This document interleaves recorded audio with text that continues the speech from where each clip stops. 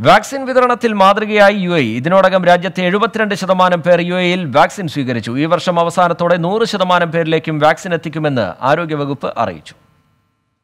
U എയിൽ കഴിഞ്ഞ December മുതൽ ആരംഭിച്ച വാക്സിൻ വിതരണം വലിയ തോതിലാണ് പുരോഗമിക്കുന്നത്. Sinopharm Pfizer BioNTech Sputnik five AstraZeneca എന്നീ നാല് വാക്സിനുകളാണ് പൊതുജനങ്ങൾക്ക് ലഭ്യമാവുക. സ്വദേശികൾക്കും വിദേശികൾക്കും പൂർണമായും സൗജന്യമായാണ് രാജ്യത്ത് വാക്സിൻ നൽകുന്നത്.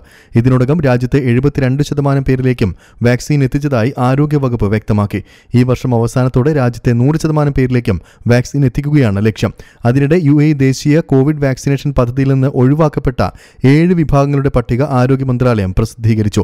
കോവിഡ് രോഗികൾ ക്ലിനിക്കൽ പരീക്ഷണങ്ങളിൽ പങ്കാളികളായവർ ഗർഭിണികൾ രാജ്യത്തിന് പുറത്ത് ഒരു വാക്സിൻ സ്വീകരിച്ചവർ കടുത്ത അലർജിയുള്ളവർ എന്നിവരെയാണ് നിലവിൽ വാക്സിൻ ക്യാമ്പയിനിൽ നിന്ന് ഒഴിവാക്കിയിട്ടുള്ളത്. ഇവരൊഴികെ എല്ലാ മുതിർന്നവർക്കും ഈ വർഷം അവസാനത്തോടെ പ്രതിരോധ കുത്തിവയ്പ് നടത്താനാണ് യു എ ലക്ഷ്യമിടുന്നതെന്ന് അധികൃതർ അറിയിച്ചു. Twenty Dubai.